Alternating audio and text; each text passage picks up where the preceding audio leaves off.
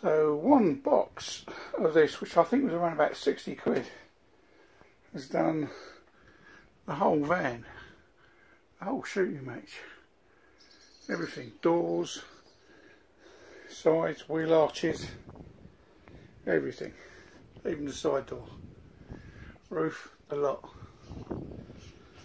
Chuff for that, and the difference is just unbelievable already. That's why they call it dodo mat because it's dead as a dodo, whereas before it was really tinny.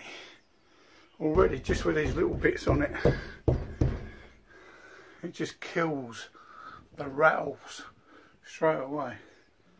That's 50, 60 quid's well, well spent, I'm telling you now.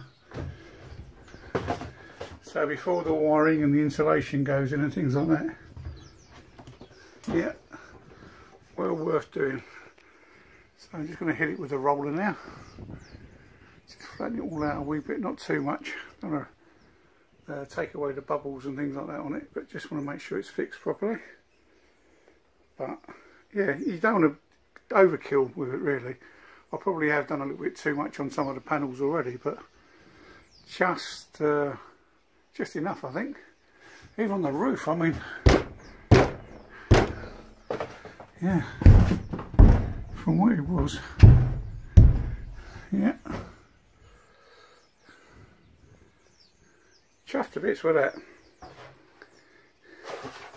Yeah, Dodo mat. Definitely recommend that.